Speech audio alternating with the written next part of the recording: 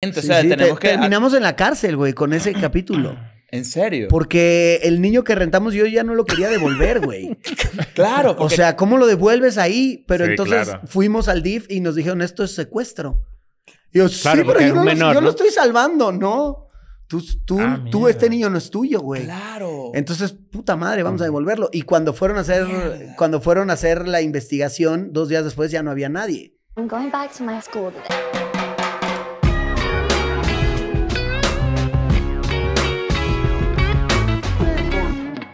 Bienvenidos a un nuevo episodio de EDN and Friends. Tenemos un gran friend en la casa. Es un honor para nosotros tenerte acá y tenemos mucho de conversar. Por favor, un aplauso para Facundo Yeah. Gómez. ¡Yeah! Me gusta estar en el podcast favorito de los policías que inmovilizan tu coche cuando no pagas el parquímetro. ¿Por qué? ¿Por qué son esos? Po- Es el podcast favorito de ellos. güey. ¿En serio? Sí. ¿Por qué? ¿Por qué? Me, me sorprende que tú preguntes eso cuando cada que empieza dices el podcast Sí. favorito Estoy de acuerdo. de la plastilina de los niños. Pues no sé si sabías que este es el podcast favorito de esos policías, güey. ¿En Yo he oído esos policías que van oyendo esta vaina y digo, qué mierda que se están oyendo escuela de estás nada, confundiendo a los sean policías. tan malhumorados y estén inmovilizando autos, confundiendo a los policías con los rapis. No. ¿Sabes que, ¿Sabes que dices eso? Y a, a ti te ha pasado eso un montón de veces, ¿no? A mí me Tú eres puesto- arácnido Me ya. han puesto la el hombre araña araña como, aquí. como 10 veces. sí. Ver cómo los odias, ¿no? Yo los odio. Ya, Ay, no, ayer Pues vi un- imagínate que tú los haces felices a ellos, güey. Qué triste, güey, que, el- que Ah, la es una buena cadena manera de verlo, la claro. estás rompiendo de una forma Qué bueno que tengo positiva. trabajo hoy. Llegó Leo y se paró mal en la calle. y bueno, de hecho, ayer vi a un tipo que yo dije, me pregunté, ¿eso será ilegal? Diciéndole hijo de puta a uno. Así- Eres un hijo de puta eso porque me pasa siempre. la araña. Y yo Güey, decía, saca lo peor de ti. Esos güey sacan lo peor saca de lo ti. peor, pero no Como es este ilegal. podcast. No es como hablarle a un, a un Sí, policía. vamos para allá. sí, sí. No, eh, yo, yo siento, yo sí siento que son unos miserables. Yo Sí, tengo, sí, yo sí. tengo- porque, ojo, no, es su trabajo y si tú la cagaste, tú la- pero coño, Yo creo, que, bruja. yo creo no, que... pero a veces están esperando un minuto, güey. Ajá. Y pa, pum, Eso, ser una. ¿Sabes por qué? bruja de Porque yo mierda. creo que... Que les dan comisión. Les deben dar Les comisión, dan si comisión. hacen bien el trabajo. O sea, si Ah, tú huevo. pescas a alguien que se salió del tiempo al minuto, Pero- pero- damos un bono. Eso, te damos- eso, sí. eso fue un escándalo en Nueva York porque se llamaban las cuotas. Entonces le decían a cada policía, tú tienes que tener mínimo hoy 60 arrestos. Uh, pues Entonces, ya ¿qué pasaba? arrestan- Empezaban a arrastrar a cualquiera, ¿me entiendes? Ah, claro. Coño. Fuck the Eso- police. Eso, no, eso explica muchas vainas en Estados Unidos. No Pero- mames, imagínate en México. Ah, no, bueno. Esas no. cuotas, ¿cómo Mira, están, güey? ¿viste la noticia de que Vilma es gay de, lo- de Scooby-Doo? ¿De verdad? Ahora bueno, eh, Pero no era como evi- evidente. era bien obvio, ¿no? Siento yo. Que era, que era lesbiana. Falta que saquen ¿no? del closet a Fred, que también... Porque Fred sí, Fred sí Fred es, un- Fred sí es muy Daphne se le regalaba a Fred y Fred como que, ay, ya Ajá, vengo, sí. vamos a ver primero cuál es el misterio. Me cae Fred, pero Daphne es la Sí, tan es linda. verdad, es verdad. Pero Pero, pero, Vilma- Vilma, por, o sea, ¿ahora va a ser gay o siempre ha sido y No. ahora salió Ah, del closet? es una buena pregunta, porque yo me acuerdo que ya tenía algo con Chaggy en algún momento. Mm. Bueno, pero a lo mejor es Qué biculosa. bueno es que, la- que- que los Woks le quitaron el culito a Chaggy. Si Chaggy que sí, bueno, ¿y qué hago, pues? Me Claro. parece una mamada que ahora quieran como quedar bien, este, homosexualizando personajes. Que ya o- existen, ¿no? O volviendo, este, negros a personajes que no Ah, eran. Un o- Chaggy negro, ¿no? O eso era, o era, o era Sí, un no, meme. Chaggy el cantante. Ah, el negro. el, El jamaiquino. cantante es jamaiquino, negro, Claro, no, sí. no sé, yo, yo a mí me... Se hace un problema cuando lo reconocen sin ningún tipo de justificación. Claro, como que, exacto. Si toda la vida Vilma fue gay, ajá, y entonces ¿qué? ¿Cambia ahora cómo le quitan la máscara a los monstruos o qué? No, es lo mismo. Bueno, Sí, pero sí, eso- yo nunca sí. vi Scooby-Doo. No estoy familiarizado con el, con el Nunca. lore ¿En de? Scooby. Sé quién es Sí, se Scooby-Doo. te nota ese trauma en tu vida. Yo, yo cuando te veo, Chris, digo, este güey nunca vio Claro. Scooby-Doo. Ni los O pitufos. sea, yo decía, ah, pero que le quitan la máscara es el malo. ¿Cómo es la vaina? Sí. Claro. No, yo nada más conozco al perro, pues. O sea, pero Scooby-Doo. no, si sabes quién es Shaggy. y sabes que hicieron el, el eh, ¿cómo se llama? El chiquitico, El Scooby-Doo. Scrappy. Scrappy-Doo. ¿Qué No, mierda fue eso, no? Scooby-Doo tiene un- toda una dinastía de puros Do. Que no, de verdad. Tiene Scrappy-Doo. La dinastía Doo. Mierda, dinastía no, Doo, Tiene claro. demasiados familiares, te lo juro. En estos días lo leí. Si lo encuentro. Si quieres... Pero sí, Scrappy era una mierda porque era un perrito pequeño, pero era bien valiente y Ajá, mamado. Y entonces era como que arruinaba toda la esencia de los miedosos de la Claro, serie. Era como, porque- yo lo resuelvo. Ah, pinche mamón. En Exacto. En teoría, todo el equipo de Scooby-Doo son, es, les dan, son miedosos. Menos Scrappy. Mira y esto. Scrappy mira que ya voy. Todo el mundo tiene que agarrar Ajá, Ya sí, sí, sí. Yabadoo, el hermano de Scooby-Doo. Yabadoo. Ruby-Doo, la hermana. Skippy-Doo, Scrappy-Doo, eh, Scooby-Dee, que es la prima de Ah, Scooby-Doo. La hermana de Lady Di. La hermana de. Lady. Dubi, Dubi, un primo. Dubi Dubi es un primo. Eso No, chico, pero ¿en ¿qué mierda. A Siempre odié cuando salían los hijos de los personajes, ¿no? No, a mí no me gustaba. Cuando venía peor. gente como ajena al, al, al círculo central del- de la caricatura, me daba como ladilla. O cuando Claro. hacían unos saltos ilógicos y que Rugrats, pero ahora son adultos. Es como que, ay, entonces. Sí. Que se parecen a uno. Los Rugrats adultos se parecen a uno, ¿no has visto? claro, weón. Son pero- como, como, pan- como tienen como una pancita así, El- están el como papá- Se flacos. parecen como- a uno. El, pa- el, el papá de Tommy es medio, medio triste, ¿viste? Porque Sí, es un bicho como con esas cosas. Cuando la gente ya no quiere trabajar más, que siempre está como vuelto mierda el con un saco grande. Tiene vibra de viudo. Puta, qué triste, qué triste que así se educan los niños con esas caricaturas Pero fíjate güey. como nosotros latinoamericanos este, compartimos eso, ¿no? Compartimos mucho este, caricaturas gringas, pero no existía o no existió estudios de animación eh, latinos. No- Claro, no- que, que tuvieran otra idiosincrasia. claro, o sea, una, una, una, Es una una- caricatura latina. No se me ocurre ninguno. Mm, no, no recuerdo. Yo creo que lo más cercano. Lo- Don Gato, güey. Don Gato. ¿Vieron Don Gato? Sí, claro. Sí, claro. Don Gato sé que no pegó en Estados Unidos porque era como muy mexicano la forma en la que Don Gato, siendo pobre, siempre se salía con la suya, con la Mm. tranza y como que Claro. era medio enemigo el policía, pero cuando lo necesitaban lo volvían amigo. Y Sí, Pero había pensado, Don- Matute. Don Gato... Ah, claro, Benito. por eso, Es que Don- por Don eso Gato- se supone que Don Gato solo hay 13 capítulos Claro. o no sé, ponle que ¿Sabes que veinte, eso- es- eso es hay muy pocos capítulos porque no pegó en Estados Unidos, pero en México pegó cabrón. Se En entonces- Latinoamérica se porque es como un vivo de barrio. Ajá, exacto. Don Gato sí, es así sí, como... Un vivo de barrio, tal Ajá. cual. Pe- No, pe- ¿no les pasa que esto? Que cuando ven... Don Gato llega y tendió una licuadora para fumar piedra. ¿Y tú qué crees? Sí, sí, sí. Güey, había un personaje en Don Gato que hablaba como yucateco. Ustedes no conocen, pero Verga, es, sí. era yucateco y tenía chistes de, Mm. de una ¿Cuál específica era? región de México. Bueno, yo, o sea, lo que dijiste ahorita es interesante porque yo recuerdo que, o sea, yo no recordaba que las, que las caricaturas, por ejemplo, eh, Coyote y, y Correcaminos, Sí. Me Ajá. caga tú eso. pensarías que tienen mil episodios. Ajá. No, Pero en pocos. realidad son que sí 18. Y siempre es lo mismo. Y siempre es lo mismo. Claro. Mierda, sí. Además, que es un co- coño un correcamino. ¿Qué es ese pájaro? Es un, No, sí un pavo real. No, no, no, no, sí existe, No, sí sí existe el O sea, Es como de desierto, es un pájaro de Y corre desierto. durísimo. Corre rápido y, Claro. y no vuela. Qué mierda. o sea, Qué mierda, sí. ¿Nunca, te acuerdas cuando comenzaba el episodio y, decía, y se paraba ch, Ah. Correcaminos?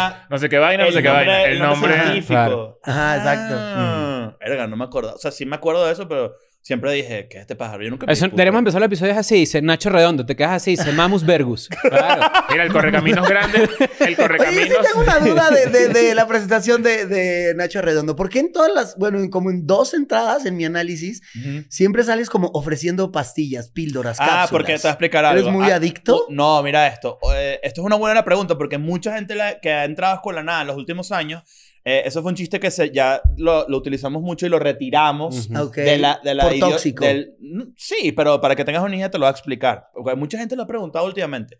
Cuando empezó Escuela de Nada, nosotros teníamos un chiste yo, que habíamos dicho que era, eras tú o yo. No, yo tenía síndrome de Down y se me quitó. Y se, le cu- Ah, y ¿sí? se curó porque se tomó una pastilla de Ah. Downy. Entonces decíamos... Facundo y que, ah, sí. Es que sí tiene cara. como que sí, sí lo creí Bueno, ese era el chiste. El Es que chiste sí era que tiene la frente larga. El chiste... No, el, el chiste era que a mí Yo se me había quitado y yo tomé una pastilla llamada Downy. Entonces Ah, pasa el, que el muchos- detergente. Ajá, en muchos países de Latinoamérica, Downy, cuando nosotros inventamos la pastilla, la gente empezó a enviarnos fotos del detergente porque se llama Ajá. igual. Y entonces después pues, empezó a pasar el tiempo y ya ese chiste como que quedó atrás, Claro, ¿no? no, exacto. O sea, Ok. de, los prim- de lo primerito que salió. Y era como que... Y nosotros teníamos acá uno y tal, pero...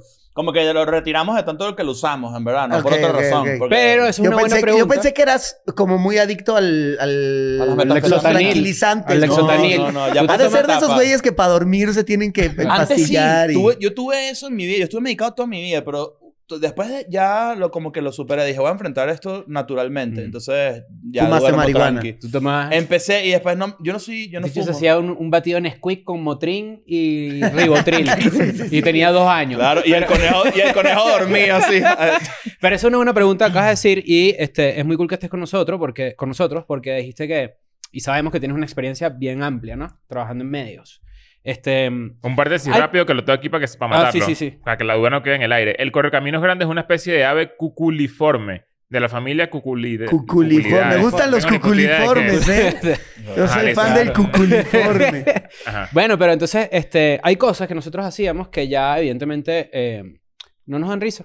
O hemos, Claro. de- o hemos dejado atrás, como que hay cosas que ya no te dan risa, ¿no? ¿Sientes tú que en tu evolución de tu carrera hay cosas que tú ves y dices como que, uno, me mamé. Ajá. Y dos, eh, eh, Ya creo no que ya no, ya no Bueno, para poner en contexto a la gente, también con, la- con, con toda la audiencia que nos sigue a nosotros, que seguramente no te conoce. Sí, mucho, Eh, Facundo, mucho marico, bien. ¿no? Tal cual. Pero muchos mucho de nosotros son maricos, pues. Facundo Claro, es un ¿no? referente de los pranks de calle, de la, del humor de calle, acá en México. Y, y bueno. eh, Cosa que comparte ¿cuándo- contigo mucho en común. Claro, yo comencé así, pero tú tienes mil años más. O sea, ¿cuándo comenzaste tú? ¿A principios de los 2000? Eh, sí, exacto. 2000 estaba yo en, la- en el Canal 5. Yo a finales de, de, de esa primera década. o sea, los todo lo que 2000. hiciste me lo pirateaste. Exacto. Pinche ladrón. Pero sabes que yo... De mierda. muy, muy venezolano. Pero muy... lo- justamente lo, creo que la diferencia fundamental entre un mercado como el de México y de repente un mercado como el venezolano es que tú pegaste muy duro haciendo pranks y cosas en internet y tú lograste meterte en televisión. Claro, sí, que sí. para nosotros eso, o sea, en Venezuela sí existían Mm. todos estos shows de pranks y todo este peo, pero era como muy pop. Era No había espacios alternativos. Exacto, era un sustito, era que si un actor que llegaba a, Venevisión, que es como Televisa, y de Pero el loco video loco sí era de, Era de pranks. O sea, de sí, pranks, pero, pranks. pero no era, no era, en- creo que en su caso, ustedes llevaron, el, tenían el prank como, o, o un sketch, Ajá. lo tenían como, como, digamos, la bandera editorial del peo, pero lo llevaban un clic más. Sí, O sea, sí, más elaborado, más una elaborado. capa más que tenía de repente, coño. O sea, tú tienes en tu haber un millón de personajes y un millón de cosas que, que verga, o sea, son dignas de ver. Yo, yo por ejemplo, me eché todo un maratón estos Ajá. últimos dos días sabiendo que ibas a venir para acá. Y, verga, yo tenía, primero tenía mucho tiempo que no me reía tanto de, de algo muy de nuestra época. Qué cagado, ajá. Porque, bueno, ahorita de hecho, a- nosotros lo traemos mucho a la mesa, a Gaspi en Argentina, Ujú. que está como que de alguna manera re- medio reviviendo eso, pero aún así uno lo ve y uno dice, verga, ya va, esto está pesado. Ajá, sí, sí, sí. y, sí. y- No, y por eso también te lo queríamos preguntar, porque sentimos que, que, que la, el prank en general, como recurso así de- dentro de Internet, está volviendo. O capaz es una sensación equivocada, ¿no? Como que, ¿será que, O nunca que- se fue, pero que nunca se fue no- y simplemente nos dejó de gustar a nosotros? O no es que no nos dejó de gustar, es que... No sé, ¿sabes qué? Yo siento que el prank valió madres en un momento en internet que los que querían hacer prank se les hacía más fácil actuarlos que Ah, hacerlos de eso verdad. sí es una mierda. Verga, Y el pasó, prank actuado se detecta fácil y es una mierda. Entonces, siento que los que hacían pranks pensaban que, es- que había que actuarlo y, este, y no supieron hacer el prank real, ¿no? O sea, Claro. y, y la verdad es que el pedo del prank real, una es que te tardas 10 veces más que el prank actuado, porque el prank actuado dura lo que dura el aire, ¿no? Mm. Y el real, estás todo un pinche día para que te salgan tres o cuatro o cinco buenos. Claro. Y entonces te perdiste una tarde para tener tres, cuatro minutos efectivos.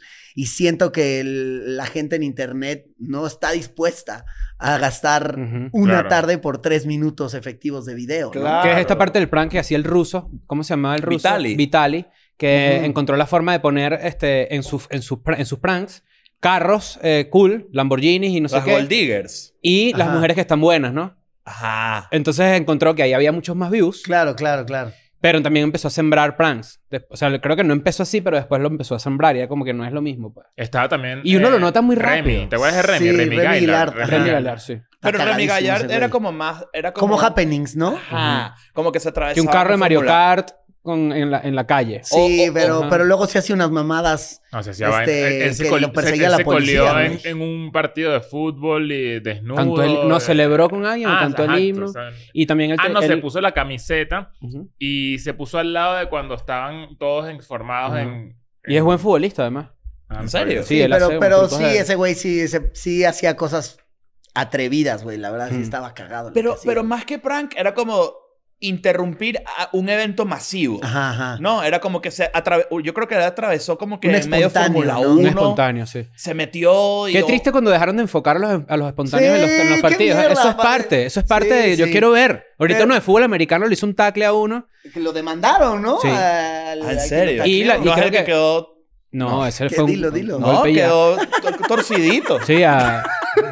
a- sí, sí, no. por ahí. Y se lanzó, creo que en el Mundial o en la Champions, se lanzó la del traje de baño verde, ¿no? Ajá. El- Que están las Borat. fotos también, que tenía un traje de baño como de Borat. Mm, ok. Siempre hay momentos épicos así. A mí, Sí, cu- cuando pero, yo voy a un pero es que lo yo, cool. yo sí creo que está bien que no los enfoquen porque pendejamente la gente está tan deseosa de fama Ujú. que cualquier pendejada que les vaya a dar fama lo van a hacer. Y si es fama fácil, como meterse en un partido de la Champions, Ujú. y a mí es como, ay, otro Claro. imbécil que quiere ser famoso, güey. Mm. Y me da hueva porque, pues, güey, estás viendo el partido. Si no serían 200 güeyes metiéndose Mm. encuerados a la cancha a hacer su pinche chiste, güey. Sí, hay que. Ya, hay ser famoso, hacer búscalo de otra forma. Like, ahorita se tiró uno con un, con un Sharpie y se lo dio a Messi para que Messi le firmara algo y él se Ten- tatuaba una GoPro, lo, que, ¿no? lo que Messi le, le puso y no alcanzó Y le a puso una vergota, Messi. en la cara. Tatúate esto. Hubo uno que agarró a Messi y lo, y lo o sea, como que le, le puso, le apretó la cara y, A Messi. y fue demasiado chimo porque Messi Claro. se veía todo como... Todo ¿Y no te incómodo parece raro? No, porque pero- además pobre Messi, porque no puede quedar mal porque todo el mundo lo está viendo. Entonces, ves a, a Cristiano Ronaldo como el niño que se brinca y dice, déjenlo, déjenlo. Y Sí. luego, oh, Cristiano es un ídolo, sí, qué chingón. Pero no mames, cuando viene un güey corriendo hacia ti es como, me va a matar. Ajá, eso es o lo que yo digo, no se sabe, ¿no? En estos, días, en estos días golearon a, al Manchester de la o, calle. o a Portugal y Cristiano se fue todo arrecho por el... Triste, sí. Y, y una caraja y que firma aquí, coño, pero que, que vas a querer Claro, firmar estoy tú todo molesto. estoy, y- ajá, me está llevando la y, chingada, y no Cristiano le, manoteó, o sea, le, le Yo creo que así. Cristiano es menos, eh, es más vale verga un poquito con el tema de super- la percepción de él con respecto a cuando le faltan el respeto.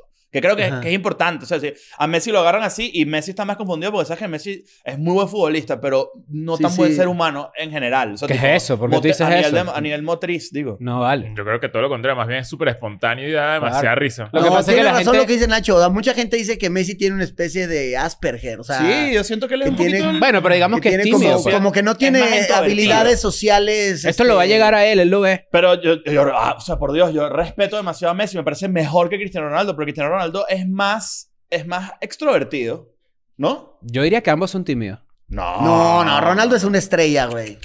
Ronaldo tira besos. opinas, güey. Cristiano Ronaldo Pero es- son tímidos también. Son tímidos, Ah, los sí, dos sí. son tímidos. Messi, güey, Messi el se nivel pone de fama que nervioso, Cristiano Messi se Ronaldo pone tan tiene- nervioso que vomita antes de los Sí, partidos claro. y hay tomas del güey vomitando porque se Si pone Cristiano nervioso. Ronaldo fuera un Messi. poquito menos tímido, saldría en películas. Lo, lo veríamos tipo LeBron, ¿sabes? No, no, yo, yo siento que va para allá, deja que se retire. Sí, te- tiene su reality, su esposa tiene un reality. Claro, weón. Claro, Eh, ese es sí, el- no, lo hiciste muy bien. Sí, ¿te gracias. parece? Pero sabes que ahorita en Ve cómo básquet- celebra, güey, se enseña los cuadritos. Ah, eso sí, súper está mamado. Aquí estoy yo, tranquilos, Sí, pendejos. Yo a mí me gustaría No hacer un mí. bajarme el, eh, así, el- bajarme el pantalón y se me dan las nalgas más hermosas del mundo. Put, estaría o hermoso. sea, equivalentes a los así. cuadritos de Cristiano, pero mis Ajá. Tú nalgas. quieres cuadritos Y la gente culo. aplaude. la gente- Pero lo peor, Tener es las que, lo nalgas peor es que así, te sacaría una tarjeta amarilla Claro. hacer Pero el árbitro y que "Uf, las tienes de- divinas, pero no puedo hacer. Exacto, El reglamento que- me obliga. que O sea, te saca la tarjeta amarilla, pero con una sonrisa, tipo. Bien, Si bien eres hecho. tonto, Bien no lo hagas más. Gracias lo por. Está bien, está bien, así. Y después hace. No, eh, hace- toca, toca así, hace. "Uy, uy", Ah, así, ¿no? Pero sabes que ahorita en básquet había unos que estaban protestando porque mm, con el cambio climático y todos estos peos, este, cada vez más gente protesta, ¿no? Ajá. Lo que tú dices que, que es Que mentira, es falso, ¿no? exacto, con la falsa claro, pandemia. claro. Y esta persona llegó al tabloncillo y se puso pegamento y pegó las manos del tabloncillo así para que no lo pudieran mover. Y vino la No. seguridad y le hizo así. No, Con claro, la obvio, qué piel ahí. estúpido. Sí, No hay Hay gente que se encadena, hay gente que protesta. Está bien, bueno. Está bien, es una buena forma, pero. ajá. Lo peor es que el pegamento que utilizó dañaba la capa de ozono en su ajá. producción. Ah, exacto, eh, así, bueno. ¿no? ¿Sabes qué? Yo siento que cuando, y cuando la gente descubra que, que de repente que no tiene ni puta idea de México ni nada, se meta en tu canal y vea y de verdad indague, que Ok. vale mucho todo la está en tu pena. canal. Todo el Sí. contenido.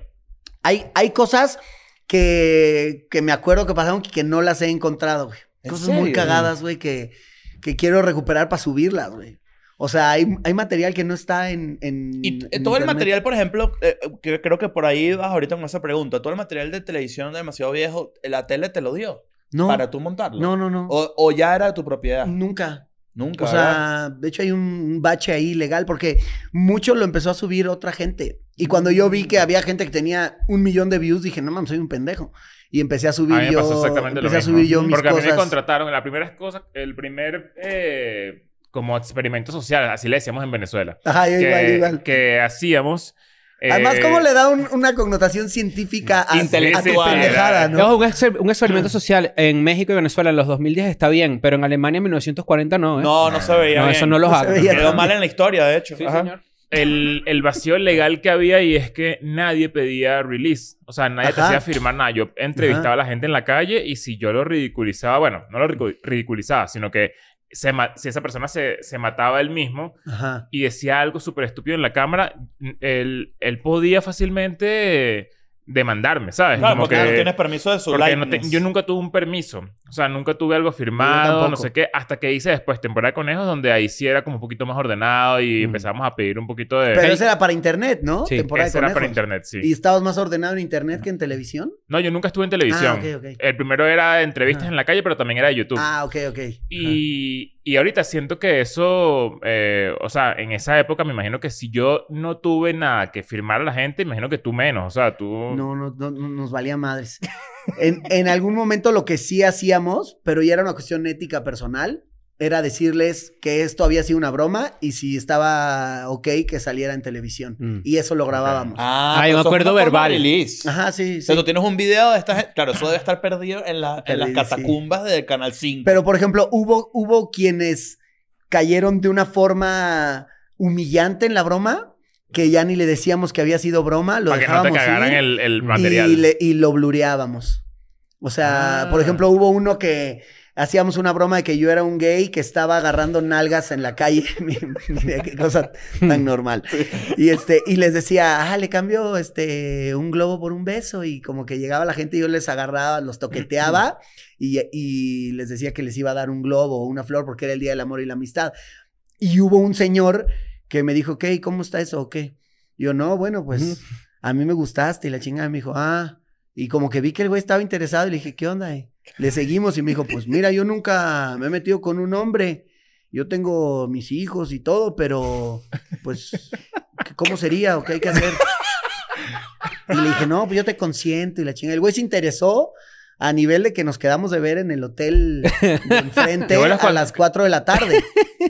Y, güey, yo me saqué tanto de onda que dije, güey, si ahorita le digo que esto es broma, el güey se va a Claro. destruir O- muy o cabrón. sea, Pero ese, ese momento en el que tú vas alargando la- la- y alargando Sí, y alargando, sí, sí, es el como que, marico, tengo que llevarlo es al, cuando, el al es cua- máximo es cuando límite. yo pienso que las actuadas por eso nunca van a ser tan chingonas, porque Claro. nunca te imaginas que eso puede pasar. ¿Y Y, la realidad es cual. mucho más ¿Y sorprendente. cómo hiciste para meter la cámara en el hotel? Ajá, ¿y qué pasó ¿Cómo hice para meterme en su verga? no, no, al final el güey seguramente llegó al hotel y no encontró a nadie, pero nosotros blureamos Su cara. Y distorsionamos la voz porque dijimos, güey, este un- güey tiene familia, le vamos a arruinar la vida por el no rating. hace falta. Eso me recuerda a Borat cuando hay una, hay una parte de Borat en donde él corta, o creo que es esta última película que hicieron, en la 2, o otro personaje de Sacha Baron Cohen, en el que básicamente logra que un concierge de un hotel le ofrezca una pedofilia. Wow. Ah, sí, yo vi Y le eso. diga Sí, tipo, sí, no, sí. bueno, si lo que tú quieras aquí lo hay. Sí es, y que, puedo- pero mientras más jóvenes me gustan más, dice Borat, ¿no? Ajá. Dice Sacha Baron Cohen. Y esta persona que sí, no, de 9, 8, lo que A mí me tú pasó, quieras. al- a mí me pasó O sea, algo... Y creo que lo quitaron y los denunciaron al FBI al Ajá. tipo. O sea, de una vez. Ah, pues. sí, eso sí, eso fue parte de la promoción de Ajá. Borat 2. Bueno, A mí me pasó algo a parecido. Giuliani lo, lo tenían encuerado ahí Sí, con casi la- con, sí, con sí. la menor de edad. Hice un ¿no? video del Día del Padre, eh, eh, seguramente la gente lo va a recordar, donde yo le preguntaba a padres que cómo celebran el Día del Padre. Y obviamente me iba escalando la pregunta Ajá. hasta que pasara algo horrible. Ajá. Y me encontré con, con un tipo que él decía, bueno, yo celebro el Día del Padre, eh, lo celebro con, con mi niña. Y yo le digo, ¿pero quién es tu niña? Y, y él decía como que no, bueno, cualquiera, cualquiera puede ser mi niña, siempre y cuando no pase de los 14. Coño de la madre. Eso fue en Sabana Grande. Caracas, Venezuela. Y, es, y ese Puta, qué, video... qué feo se vuelve ese experimento social cuando. Y ahí fue que nos conocimos, entrevistándome. Sí, pero eso es lo que tú dices. eh, Se eh, ve que no tienen hijas, cabrón. Por eso les da risa Eso, ha cambiado mucho tu... O sea, eso, eso justamente tenía esa idea para planteártela más adelante, pero que ya que lo trajiste... Ahorita eres padre. Eres padre de tres criaturas, ¿no? Sí, sí. Y... ¿Te hay- suavizó eso? Ajá, exacto. Un poco, ¿no? Normal. Puta, es que mis hijas son súper, este... Correctas, güey, súper peleadoras de la justicia, de las causas nobles. O sea, que si se mis meten en tu hijas odian a Jaime "¿Qué Duende. No, mis vergas?". hijas, cada discusión Jaime cabrona Duende. termina en. Por lo menos yo no me gano la vida indignamente como tú insultando a las mujeres. Y, con eso pago tu universidad. Prefiero ser inculta que, que, que me pague la universidad un homofóbico, misógino, mierda y puta madre. Es- Qué, Es qué difícil loco el, el hueco en el que estás, porque no, no hay... O sea, hasta que sean grandes no... no... A mí me gusta escudarme en que era una denuncia social. Claro, estoy, estoy Claro, poniéndole el eh, foco a un eh, asunto. Ajá. Que, ojo, no es Que mentira. no es mentira. Sí, es que, porque por- siempre lo pensé así. Es como, güey, yo no estoy promoviendo que la gente le pegue a sus esposas. Lo que No. estoy promoviendo es que... Que esto es un asunto del que hay que hablarlo, ¿no? Claro. Espérame, pero te quiero decir algo de, de cosas que, que te sorprende de la realidad. Una vez actuando como que era una película porno, pedíamos repartidores. Esa, esa etapa fue hermosa, güey, porque Mm. estás en una casa, controlas todo, tienes todo controlado, el ambiente, y entra una víctima a la cueva del lobo. Entonces, llegaba, le abría la puerta una señora, una chava guapa, y, oye, ¿nos ayudas? Es que estamos haciendo una escena y necesitamos un actor porque el que vino no está. Ah, ok, sí. Y entraba un señor y empezaba a masajear a las morras, y de repente salía de la cortina un gay con una tanguita y con una, una crema lubricante y un dildo, ¿no? Y entonces decía, bueno, aplícaselo a él y jurarías que el- la víctima dice, no, no, ¿qué pasó? ¿Qué pasó? No, y el güey se quedaba. Entonces el actor ya era como, ¿Hasta dónde llevamos "Güey, esto? se la meto, ¿qué hago? Pero muy cabrón, cómo tuvimos que parar la broma porque lo que seguía era cogérselo. Claro. Y, Y que no, ya, ya. Y, el repartidor y que... Ajá, entonces... que- ajá, que, nos eh, superó, nos superó la víctima, güey. Hay gente que quiere, que tiene. Pero lo cabrón es que luego cuando le dijimos, oye, este, ¿qué pedo? Esto es una broma, ¿podemos sacarlo en tele? Y nos dijo, órale, sí, ¿qué día sale para decirle a mi esposa que lo vea? mames. Claro. Y yo dije, este güey está choqueado por la situación, o sea, hay que pedirle después, hay que pedirle en dos días que sí, sí lo podemos sacar, güey. Claro, porque está como deslumbrado. Exacto, está deslumbrado por la situación, güey. Era una persona que yo sentía que lo había superado la, la situación. Y le hablamos y nos dijo, sí, sí, sí, este, lo, lo quiero ver con mi esposa. Es como que, pero era un señor, güey, no era un chavillo que dices, güey, este güey se quiere agrandar de que salió Mm. una escena porno. Es que hay gente que tú no te imaginas que. No que existe, sino que tiene ciertos. ¿Tú no has puesto baños de Soriana en Twitter? No mames. Pon so- solo pon Soriano en Twitter. Pon Soriana en Twitter Es para que que veas. Twitter es una mierda. No, bueno, pasa de O sea, hay, todo. hay una red de gente que es como una comunidad que busca sexo oral en baños En baños de públicos, en, en Sí. en baños de centros comerciales, de supermercados. de- rico. Tú prefieres el cheddar No, en su mesa es bueno también. Pero, güey, yo no podría erectarme con ese olor a mierda de baño. Mierda, mierda City es Market está bueno. Sí, pero City Market, güey. Claro. Me gustaría saber Estás si la gente. Anybody looking to suck dick? Bueno, con mis hijas sí me, sí me mm, he controlado en esto lo van a ver mis hijos, pero no creas que tanto, ¿eh? Porque yo sí sigo pensando que yo cicatrizo, pero que el rating perdurará por siempre. Entonces, Mm. si hay algo que Mm. afecte. A mi mamá le afectaba mucho Jaime Duende y que lo hagan ellas. Me decía, pone tipos. Mm. Vas a poner minas, pone tipos también. Claro, porque tus papás son argentinos. Ajá, sí, mi mamá Mm. se enojaba de... Mi mamá también es muy feminista y, lo ha sido siempre. No es como que ahorita que, que está el tren. Claro. Entonces mi mamá le molestaba y, y yo le decía, puta, no lo veas, ¿no? Pero sí, sí te afecta un poco el, el que la gente que tú admiras te diga que lo tuyo es una mierda, ¿no? O, no, no te pasaba que si, por ejemplo, tenía, le hacías algo a alguien y pensabas, coño, puede ser mi mamá. No, yo, yo A la verdad es que cuando eso. hacía bromas, no me metía con ancianos, ancianas, como que decía, si es muy vulnerable, mm, ya no, No. ya no, No es es, chistoso. ya no es chistoso. O sea, una Claro. embarazada y la asustas, eh, no, ¡Ay! ¡Ah! Ajá, sí. Claro. O además Alto es- sketch. Este es el prank. Como que siento que la risa es cuando el güey se lo merece, ¿no? O sea, tipo, ubicas mil maneras de morir. Sí. Antes de que el güey muera, te dan a entender que el güey era una mierda. Entonces, cuando muere, disfrutas. O que hizo una Claro. estupidez. Exacto. Claro. Pero el güey era eh, un abusador. Y, y- y cuando entonces se las llevó al jacuzzi, el pene le succionó el jacuzzi, yo qué sé. Pero dices, qué bueno que murió.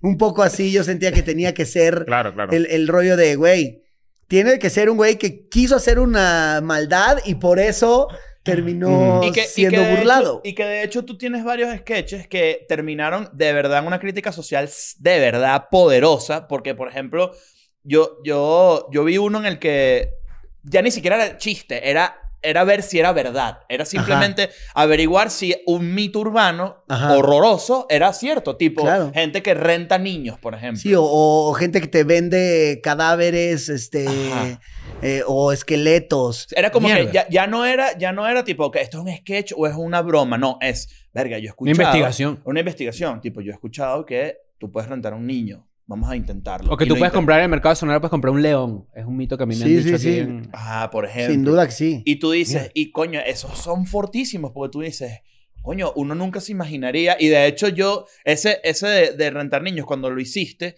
que te diste cuenta que sí era cierto, Ajá. tú mismo estás como que, no, verga, ya. ¿Sabes? Esto está muy cabrón. Hay que ir a denunciar a esta gente. Sí, o sea, sí, tenemos te- que. Terminamos en la cárcel, güey, con ese capítulo. ¿En serio? Porque el niño que rentamos yo ya no lo quería devolver, güey. Claro, O porque sea, ¿cómo lo devuelves ahí? Pero Sí, entonces claro. fuimos al DIF y nos dijeron, esto es secuestro. Y yo, sí, pero yo, no lo- menor, yo ¿no? lo estoy salvando, ¿no? Tú, tú, Ah, tú este niño no es tuyo, güey. Claro. Entonces, puta madre, vamos a devolverlo. Y cuando fueron a hacer, Mierda. cuando fueron a hacer la investigación, dos días después ya no había nadie. O sea, estaban avisados que eso había pasado. Sin embargo, en mi casa había tres patrullas, güey. Cuando yo salía de mi casa al radio en la mañana, había tres patrullas que me obligaban a mí a ir a declarar. Mm. Cuando yo dije, güey, declaré hace dos días. Y cuando fueron ya no había nadie. No sean mierdas. Esto es una hipocresía, güey. ¿Y qué pasó están- con el niño? No, no sé.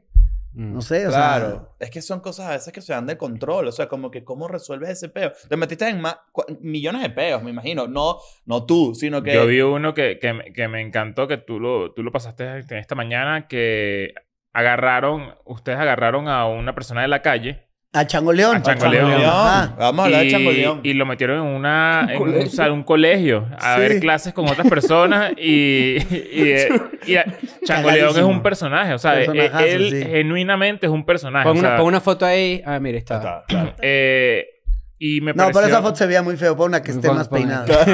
Ahí está. Bueno, de hecho, vi una, evolucionó. vi una entrevista que le hicieron hace poco. Hace, ¿En dónde? O sea, hace como... En con la. Ouija, ¿será? No, hace Se como- murió, ¿no? No, no, no, está vivo. Tiene, No, tiene pensé que 81 Changoleón años. murió. Es que 81. inventamos la muerte de Changoleón. Yo caí. Para que lo dejaran Sí. tranquilo, ¿no? No, no, no, porque otro rollo era un programa que salía los martes. Yo lo veía. A bueno, se eh, veía. ellos estaban cumpliendo 10 años y nos estaban quitando la atención. Mm. Y entonces caminamos todo Televisa diciendo, no mames, se murió Changoleón, qué mal pedo, güey. En loop.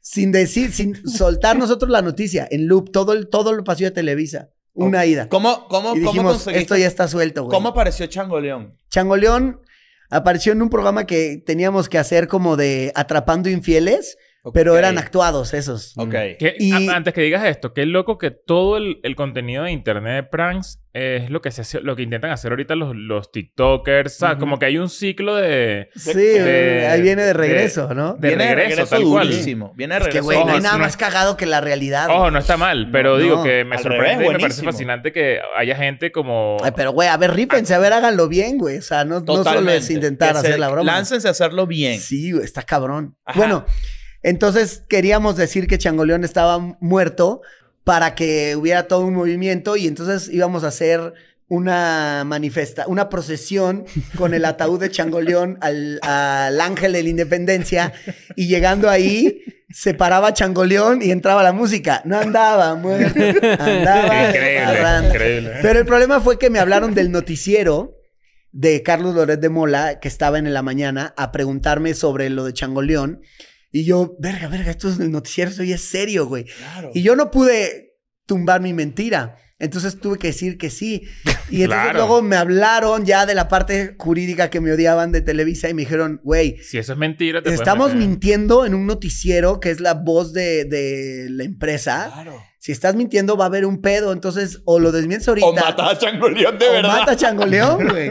Y no, güey, tuvimos que... Matarlo. Tuvimos, no, no, tu- tuvimos que revelar la verdad porque estaba verguísima nuestro final a, a esta mamada de esta broma, que era una broma a la nación. ¿Qué tanto podía pasar? O sea, ¿será que te, te mandaban? No, Que- no, lo, En lo- verdad, lo sí, que lo pasaba era que estábamos poniendo en juicio la credibilidad Ah, claro, del noticiero. Porque el- ya el se había dicho en el noticiero. Claro, lo que, iba, a- lo que iba a pasar es que la gente iba a decir, ok, los del noticiero son tan pendejos que cayeron en una broma, entonces cualquier cosa Exacto. que digan Quedan puede mal, ser, ¿no? o sea, Quedan quedan mal, mal claro. ellos. Pero el changoleón surgió de, de que teníamos que ir a hacer un programa de estos, pero ya habíamos hecho uno y le había ido muy bien. Entonces el productor dijo, hagan otro. Y dijimos, ah, qué mierda, yo no quiero hacer otro. No, dijimos, ah, la verga, vamos a hacer.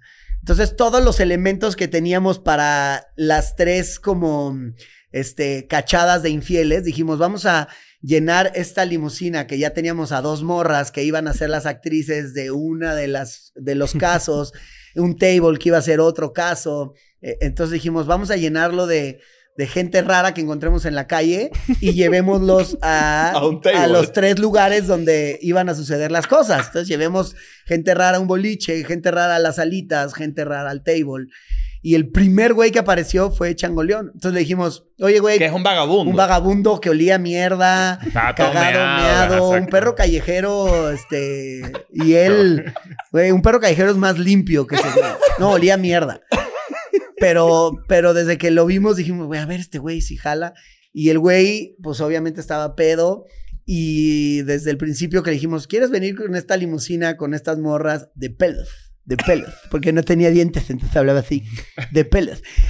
Y cagado porque en ese entonces que no había redes sociales, la única forma de sondear lo que habías hecho en la tele era los comentarios que oías después Claro. en la calle. Y yo estaba muy pendiente siempre de, ¿y qué te gustó y qué no te gustó? Y mucha gente me decía dos, tres semanas después, oye, ese güey, el changoleón que llevaron. Y entonces yo cada junta creativa decía, la gente me sigue diciendo changoleón. Hay que traer. Tres semanas la gente me sigue Hay que diciendo convertirlo en algo fijo. Dijimos, güey, hagámosle una sección a Changoleón. Y ya era Changoleón va a la escuela.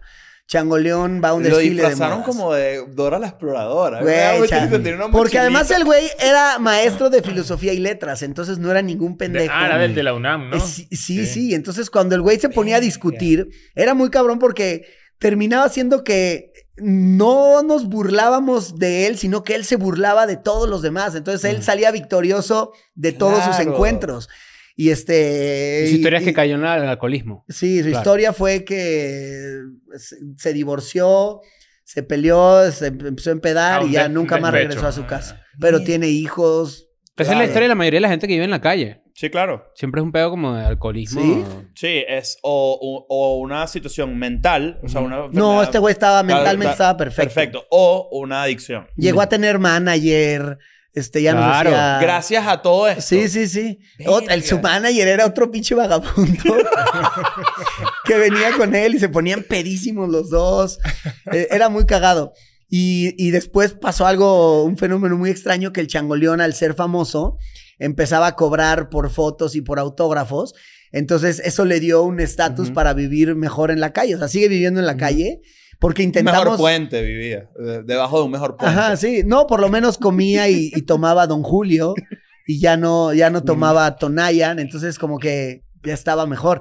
Pero mientras eso pasó, tuvimos un montón de etapas con Changoleón que en un momento el güey dijo, quiero dejar de tomar, ya quiero reincorporarme. Rehabilitarse. Ajá, entonces lo metimos a una rehabilitación.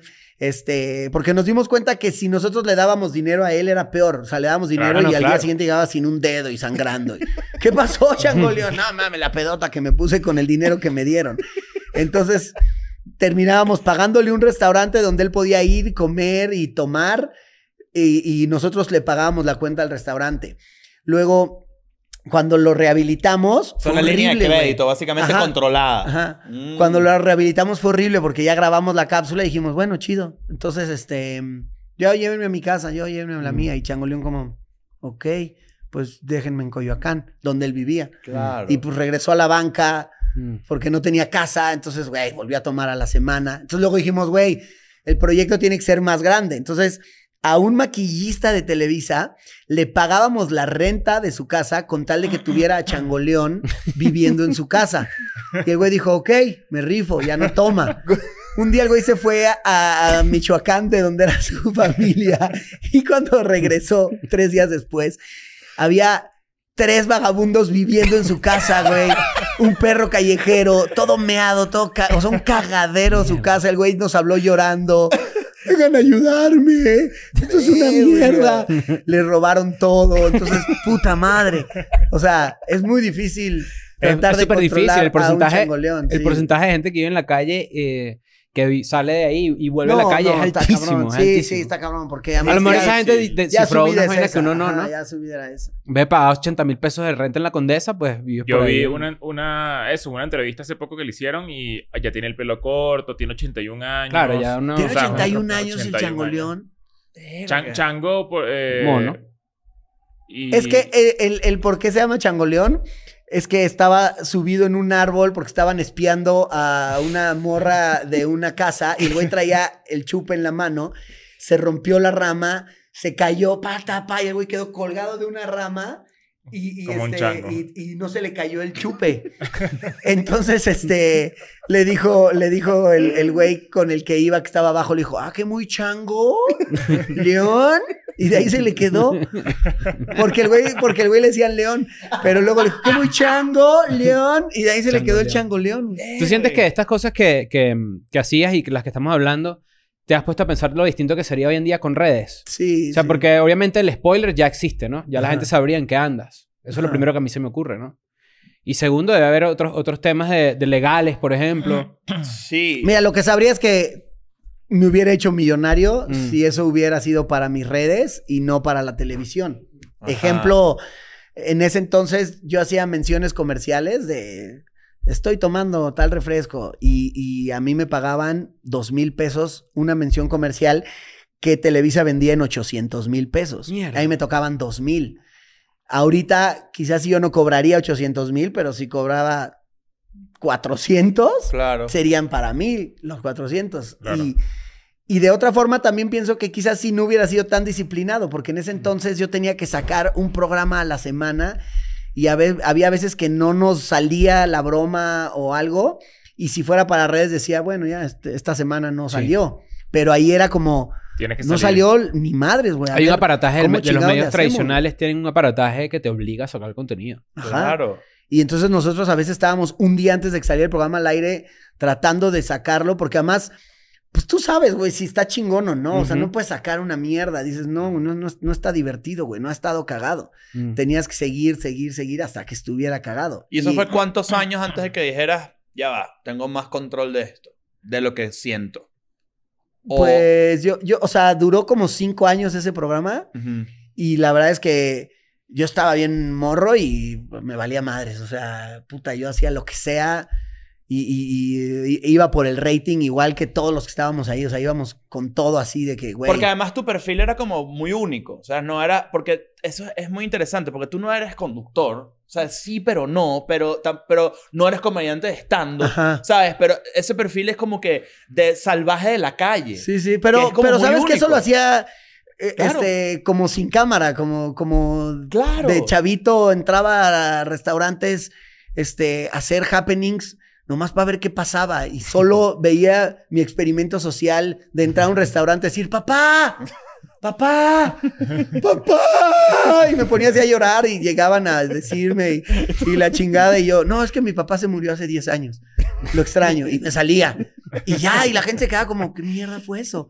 Pero lo hacía por diversión. Claro. luego me pusieron una cámara enfrente y lo seguía haciendo. ¿Y cómo lo transformaste ahorita? O sea, tipo, ¿qué, qué? Porque obviamente hay como un elemento muy de que obviamente te divertía a ti. Sí, O sea, más que pensar en cualquier otra cosa, era como que esto me vuelve mierda a mí, me encanta, lo voy a seguir haciendo todo el tiempo y que la gente se monte. Ajá. ¿Cómo haces eso hoy? O sea, No, tipo, eh, o- Hubo un momento que dej- dejé de hacer bromas en la calle porque ya era muy famoso. Claro, ya te conoce Además, todo el mundo. En ese entonces la televisión era la única opción de entretenimiento. A nosotros nos veía por jueves alrededor de 6 o 8 millones de personas. Cada jueves, güey. O sea, Mierda. era, era demasiada la audiencia que teníamos en ese entonces. Teníamos 20 puntos de rating, era mucho. O sea, era el 10% Claro, había del que país. reinventarlo güey. rápido, porque ya la gente te reconoce. Sí, entonces me ponía una nariz falsa, dientes, peluca, botarga, pupilentes. Mm. Me tenía que disfrazar mucho para que no me reconocieran y me reconocían. ¿no? Entonces ya había que pelear como contra el hacer una broma chistosa, pero también que no te reconocieran. Entonces había gente que decía, no, este güey me va a reconocer. O sea, veía gente como target del programa y decía, no, Mm. este güey, este güey sí sabe quién soy. Entonces empezabas la broma y de repente ya veías la cara como, y ya dijiste, ya, ya, Ya, ya me reconoció. reconoció. Decía, ya Que era que te jodían a ti. Ajá, a sí, mí me sí. pasaba mucho eso. Bueno, claro, que ya te- que te reconocían decían, ahora se la voy a voltear. Se la voy a hacer yo a él. Exacto, y ya decías, nah, este güey se está el haciendo el héroe. incómodo murió porque ya la gente, o sea, a mí me reconocían mucho en la calle, Claro. entonces ya era como más difícil para mí. Tendrías que como que viajar, ¿no? O sea, Viajar era distinto, pero entonces en Caracas hacer Y eso es más ya costoso era... y...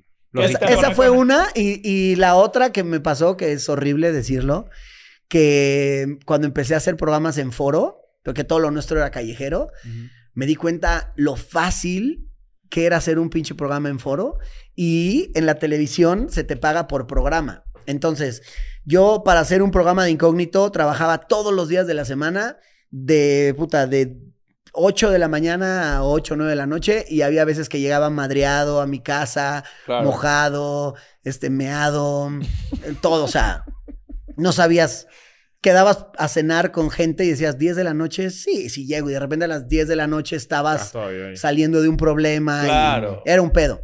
Y trabajaba diario para cobrar un programa. Después, cuando empecé a hacer programas en el estudio, en dos días hacía cuatro programas, lo que significaba un mes de trabajo en dos días. Mm. Entonces decía, no mames, por dos días me pagan lo mismo que un mes. Váyanse a la verga, calle. Claro. Yo soy, yo ya, ya, no, ya hecho no, mucho. exacto. Y, y la verdad es que a mí eso no es lo que me hace feliz. Yo no soy esos workahólicos que buscan el éxito la verga. Yo lo que quiero es andar en bici, jugar fútbol, rapear con mis amigos, pachequear, hacer, o sea, eso es lo que me hace feliz.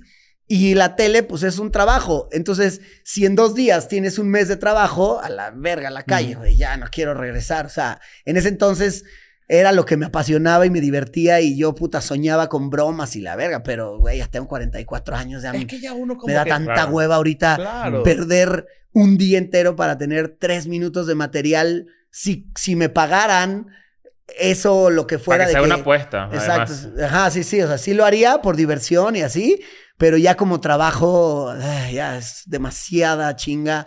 Me partieron la madre cinco veces. En, o sea, en- no a en esa, golpe. en esa época. Sí, sí. Ah, ahorita hablamos de eso, de, de que de, de- te partieron la madre, pero cuando al principio de los 2000 la televisión mexicana pagaba bien. a mí nunca me pagó bien la televisión mexicana hasta que, que salí de ese programa.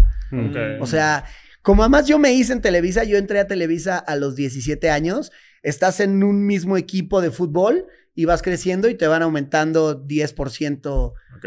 por año, ¿no? O Pero sea, cuando te enteras de los números reales es como que... Claro, cuando de repente yo llevaba 15 años trabajando ahí y este y había un güey que venía de otra empresa y estaba cobrando el triple y yo decía, "Virga, ¿qué, qué estoy haciendo mal?" En el momento que yo me fui de Televisa empecé a cobrar cantidades que yo no pensé que se cobraban en la televisión, Mm. Claro. Pues te hablan de otra y luego te dicen, "Te hablan de otra", entonces, "Ah, ¿quieres que deje esta?" Bueno, pues aquí estoy ganando esto, aunque no era cierto.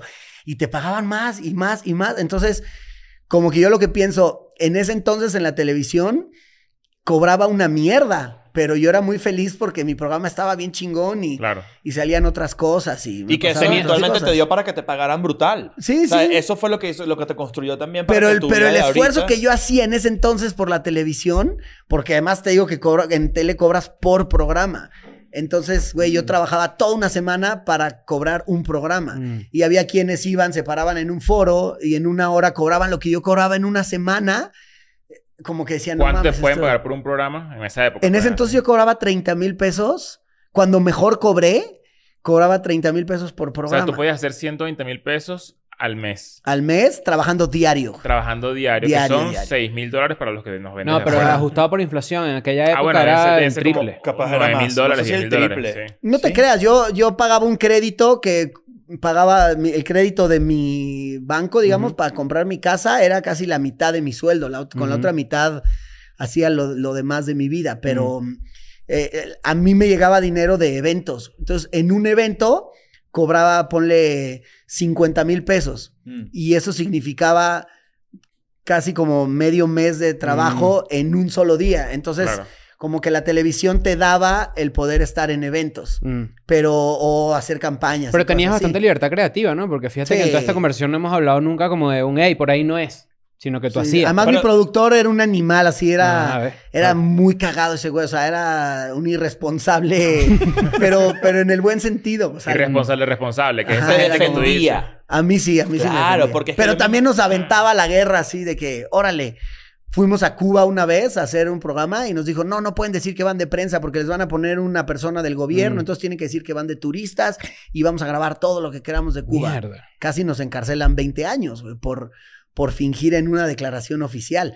Pero esa era la forma de operar en ese momento. Y la verdad es que le agradezco un chingo a Miguel Ángel Fox porque también él presionaba a ir más allá. O sea, decíamos, güey, eso no se puede. A la verga, vamos a hacerlo. Yo luego, si hay pedos, yo. yo Eso me es muy meto". poco visto en televisión. No, no. En medios internacionales probable, es Miguel Ángel Fox no sé cómo le hacía porque siempre tenía pedos, Mm. pero siempre salía victorioso, Victorioso. del pedo y, y pues yo decía, háblenle a Fox. Mm. Estaba bien chingón tener un jefe que... ¿Cuándo te cagaste de verdad? Hubo un, un día dijiste, aquí fue. Esto fue, Cuba, aquí me jodí Cuba. para siempre. En Cuba, sí. Ese, ese Eso fue lo peor. Cuando nos dijeron, ustedes saben que mentir en una declaración oficial en este país son 20 años de cárcel.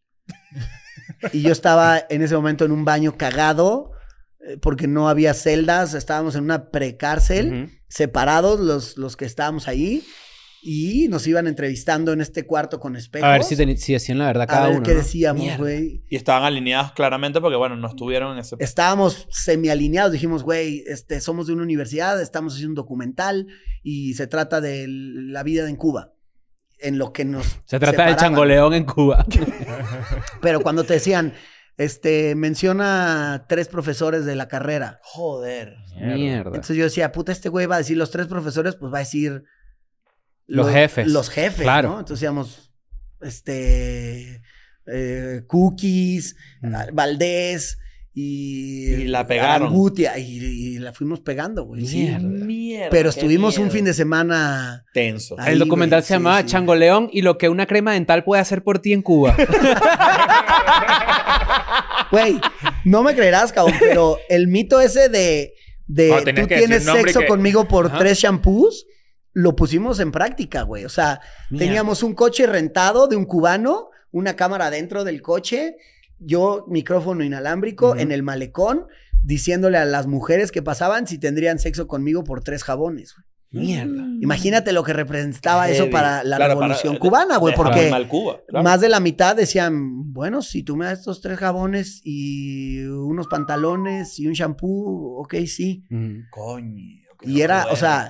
Era horrible verlo, pero para mí era así una, Claro, porque es una gran cosa de, no contenido. mames, esto es rating puro, güey. Esto es una realidad muy cabrona. Ujú. Había otra parte bien chida de Cuba que también la grabamos. Ujú. no, no se trataba de ir a Solamente tirar a la mierda, pero sí hay una parte en Cuba donde la gente Me acabo de se imaginar. prostituye aunque Claro. no sea prostituta. Claro. Vas a Cuba de turista y regresas con, y la maleta llena de jabones. Y tú como que no entendiste muy bien cómo... No lo llevaste, tú te lo trajiste.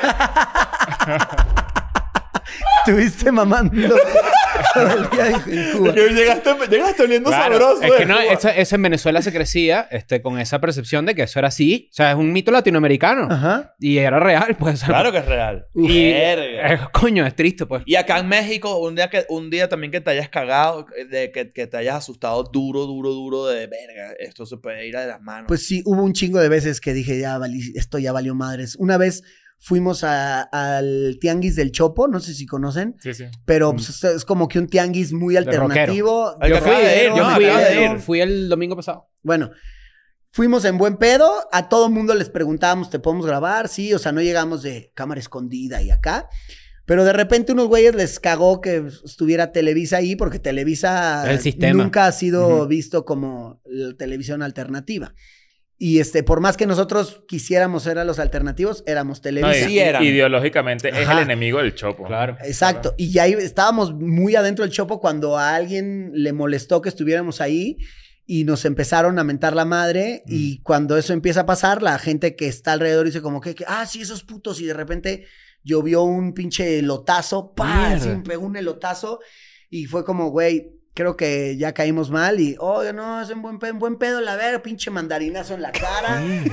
Y entonces dijimos, güey, tenemos que irnos de aquí. Entonces como que empezamos a pegar la vuelta, pero yo sabía que si corríamos, Te iban a pegar. nos, iba- nos claro. iban a agarrar todos los que estaban de frente. Entonces íbamos como saliendo lentamente, Como el camino caminandito, mientras recibías zapes y patadas y era como, bueno, todo buen pedo, pa, un vergazo, todo buen pedo, pum, un putazo por acá. Y era como, Verga. verga, que no se va, salga de control hasta que fue un momento que ya era, se salió de control esta mierda, tenemos que correr y faltaban dos cuadras de ¿Del correr- tianguis o, o del de una... tianguis, no, no, de Porque dos- además son pasillitos Sí, así. sí, sí, güey. Y todos los puestos se ayudan entre ellos. Entonces, Ujú. si ven que unos güeyes están huyendo, pues agárrenlos y madréenlos, ¿no? Entonces era ir corriendo, recibiendo patadas, putazos, para llegar a la camioneta. Cuando llegamos a la camioneta, había 30 personas persiguiéndonos, aventándonos piedras y la Mierda. Nos subimos a la camioneta, los que pudimos. Salimos de la camioneta, nos apedraron la camioneta. Yo estaba ya madreado, o sea, de que todo el labio peo, hinchado, el ojo, el elotazo, este, Mierda. humillante y, y Mm, feo. Mierda. Y este, y todavía se quedó un güey de producción con una cámara y no pudimos parar por él. O sea, se fue la camioneta, el güey venía atrás así, con los 30 güeyes Lo atrás de morir la él. guerra. Es el que Lo muere en la dejamos película. morir, sí, claro. lo dejamos morir. Pero no había forma, era como pendejo. Mm. ¿Por qué te quedaste, güey? Claro. Tú ves así por el retrovisor, te estás yendo y ves así, se va alejando la- así, y ves la turba y sacan un hueso así, y un tipo así. ¡Ah! Sí, sí, sí, sí, sí. Un Claro. rastrillo. Y ahora venden Como- esa camisa ahí y dice Qué Megadeth. Y eso. Qué loco que, me, que cuentes eso porque yo, vi- yo grabé un video en el, en el Chopo eh, en el 2012, creo que fue, la primera vez que vine a México como turista. Es algo que ustedes los mexicanos seguramente no entenderían, pero en Venezuela era un chiste. Eh, en Venezuela, chupar paloma. Ajá. Chupar paloma para los mexicanos es jugo de toronja con Ah, tequila, ¿no? Ajá. Chupar paloma en Venezuela es mamarte un Sí, huevo. pa- palomas Ok. pito. Es, eh, Pero, eh, pero en el sentido humillante de. O sea, no es como. O sea, la gente no dice, ay, voy a, voy a chuparme una paloma hoy esta noche. No, no, porque Ah, como no lo dicen diría, ustedes, "Oh". pues. claro, pues. claro. Entonces, en el Chopo, yo lo que hice fue preguntarle a toda la gente que, co- que, qué es lo que más le gustaba de chupar paloma. Porque para los Oh. venezolanos nos daba risa eso. Ajá. Y todos los rockeros, metaleros, los más fuertes que si... Bueno, este, mm, a mí me encanta chupar paloma, sobre todo si estoy en mi casa. Pero si estoy en la calle no, no lo disfruto mucho. Bueno, nosotros los amigos nos reunimos a chupar paloma todos juntos a ver televisión. Y todo ese video se hizo muy viral en Venezuela. Eh, y ahora que me dices eso, me da demasiado miedo que me hubiesen imaginas? descubierto. Claro. Claro, claro. La Ah, estás haciendo el vivo tú ahí con Claro, tu ese chistecito. lo pueden buscar por ahí. Ese Está, ese Claro. ¿Quién quiere ganar 5 lucas de... Ese- ese de Bueno, imagínate, ve esta escena tan, tan chingona del momento cuando dejamos al güey de la producción y venía así con la cámara. Nomás vimos cómo el güey hizo. ¡Ta! Tiró la cámara a la mierda. Claro, para correr más. Y duro. siguió corriendo como que fuera uno de los. Claro, la dejó el arma. Uno de las de la turba como que se volvió. Ah, se mimetizó. Pues, Sí, se volvió zo- se volvió zombie. ¡Mierda, putos! Claro. Verga, qué Y la cámara plata, pum, se hizo mierda ya. Pero fíjate, la- eso, eso menos, que güey. dices tú es algo que mm, yo tengo seis, yo casi seis años en México, cinco, y siempre me llama la atención la diferencia entre lo que entre el albur y un Ajá. chinazo. Para nosotros el albur es un chinazo. Ajá. Entonces suele ser que el chinazo es más literal. Lo que pasa es que Ok. la... O sea, el, el albur, a mí tú me puedes estar albureando y yo no lo Claro, sé. claro, porque el chinazo imagino que es como nomás que rime, ¿no? Como. No, es más que como caigas. Es que ca- no, el albur pasa por debajo de la mesa. Eso yo te albureo, Claro, yo sé que- que, te albureé Ajá, y y sigo. te lo quedaste. Claro. Pero en cambio, si tú caes en un chinazo, yo te lo reconozco de inmediato. Tipo, Mm. ¿quieres chupar paloma? Así, ¡ay! Ajá. De una. Ok, ok, Eres- ok. ¿sabes? Eh, Pero en así. México es como, ah, ¿por dónde vives? Ah, es que te vi esperando el camión ahí sentado en la parada. Ajá, Y ahí sentado en la sigue. parada. Y ya. Ajá. Y ya todo el mundo sigue. Y, Y tú uno extranjero que sí. y Y uno, y uno extranjero No que sé. sí. Sí, estaba sentado en la parada, estaba así. Sí, sí. Ahí es, Exacto. para Y- no y- mojarme. claro, sí, sí. Sí, Es más sutil, es más eso, se, elegante. eso se le reconoce muy cabrón a, a México, ¿no? Es genial Sí. el albur, güey. Es, Es es delicioso. un juego de palabras muy bello, de, de Sí. ingenio, Sí, el ¿no? venezolano es mucho más literal, es verdad. Es más literal y más, y más directo. Bueno, lo de chupar paloma es como ultra literal. O sea, Sí, la- aquí la diferencia es sí, que un mexicano vaya a, a Venezuela a preguntar, o sea, no sé, como que, no ah, sé, ¿te gusta y- mamar y- huevo? No, que se, sé. te- Claro, que, claro. que- que se lleve un, un pito literal y Ah. es como que... Sopla pito. Sopla- Sóplame el pito. ¿Tú, tú has soplado pito cuando eras Ajá. niño? Claro. Sí, Sí, yo soplaba pito. Ahora es más burdo, güey. En Ese- México, en México tenemos un nivel cultural más cabrón para... Ese, ese es uno de los choques culturales de, de albur y chinazo, que es que mm, los caribeños, y me incluyo los caribeños, somos muy groseros. Muy, muy groseros. Los mexicanos no tanto. No, los mexicanos son groseros. Bueno, Sí, no sé los chilangos, pues. El norte Lo sí. que- no, lo que pasa es que hay palabras para nosotros que no son tan groseras que acá son súper groserías. Mm. O sea, tipo, por ejemplo... Verga. Verga. Nosotros hacemos verga. Y aquí Sí, es como... sí. "Ah", pero O es como- pendejo Los también, ¿no? amigos invisibles, cuando iban a mi programa, no, es que esta verga que estamos haciendo, Ah, mierda, como esta madre, esta cosa. Ajá. esta vaina. Ajá. Pero Sí. eh, eso es el peo, que es como que verga. Uno dice, verga como cualquier cosa, pero acá es pesado. Es la peor. No ¿Es sabía, la peor? no- no sabía que verga era tan pesado. Es la, sí. es la peor de, De todas. hecho, ya está desmonetizado este podcast por, haber dicho de verga. ¿viste? Coño, Sí. qué cagada. Igual yo pensé que estaba desmonetizado desde que pusimos en el título que te consigue una crema dental en Cuba, ¿no? el mismo chiste otra vez. El mismo Pero eso el chiste algoritmo, dos el algoritmo no lo reconoce. el algoritmo no, no sabe. Ahorita hay un género, Ajá. mira esto que interesante, porque justo caí ayer, el día antes de ayer, hay un género ahorita de YouTube, de youtubers cubanas, que hacen reviews de Cuba, Ajá. y algunos de los videos son haciendo unboxing de lo que la gente les manda. Ok. Entonces, es, coño, es triste. Primero, las son muy buenos youtubers, pero Sí, porque, segundo... porque mi último unboxing era de la GoPro 11, ¿no? Exacto. No, no, no. Bueno, ella agarró que sí, eh, detergente o una Oreo, y, es- y uno ve el video y es como... ah, Puta, una Oreo. Porque además uno no está tan lejos de eso tampoco, ¿no? Mm, exacto. Pero es como... O sea, uno dices como venezolano. Exacto, no, tú, tú- Pero igual tú estás ahorita- tranqui. Por ahora- por ahora. Estamos, por ahora. Nosotros estamos hablando de nosotros. Claro. en su momento. Pero pues. eso pasa... Sí, eso no, pasa... Tienen, tienen un árbol de mandarinas este, Naranja, falsas, naranja. güey. no Lo que pasa es que este es el famoso naranjal, porque Leo vivía eh, en una urbanización toda su vida en Venezuela llamada El Naranjal. Entonces nosotros decidimos Ah, poner tierno, naranjal ahí. Es el Sí. símbolo. Nunca hablamos de eso, del naranjal, de hecho. Nunca tocamos ese tema. No, más nunca, Mira. más nunca, más nunca. Tan falso como tu pinche naranjal. Hubo, hubo, una, hubo una marcha para defender los derechos de las inmigrantes, ¿no? Ah, sí, sí. Claro. También ahí nos metimos en pedos, güey. Claro. Estábamos, queríamos hacer una manifestación y entonces en un programa anunciamos que íbamos a hacer una manifestación para defender a las teiboleras nacionales y extranjeras.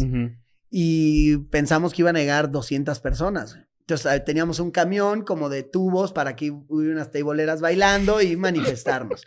Llegaron 6 mil personas. ¿Qué? Cuando yo llegué, llegó el de la policía y me dijo, no te bajes porque no hay seguridad y esto va a ser un desmadre. I'm going back to my school today.